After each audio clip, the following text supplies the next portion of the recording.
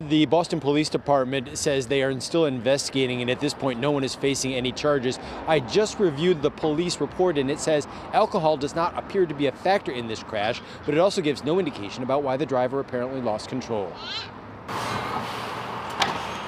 A crew cleaned up the wood and metal debris left on this front yard in Roslindale, and neighbors remembered the longtime owner of this triple decker who loved to sit on his front steps.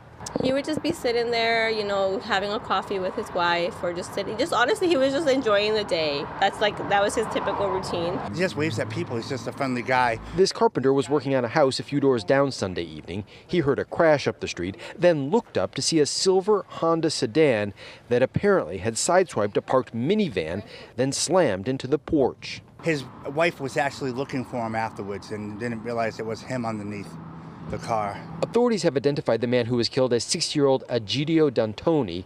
Another unidentified man, who was apparently walking on the sidewalk, was hit and injured. When I driving, I go, I take it carefully, you know. Neighbors say speeding is a problem on this stretch of Washington Street, which does have dedicated bus lanes on each side, but only during weekday commute hours. At the time of the crash, on a Sunday evening, those lanes were available for parking. I mean, honestly, you have a sidewalk, you have a fence, you have a deck on top of that. Like, you know, you would never imagine that would have happened.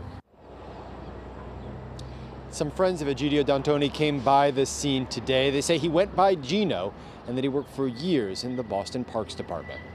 Live in Roslindale, David Bienick, WCVB News Center 5.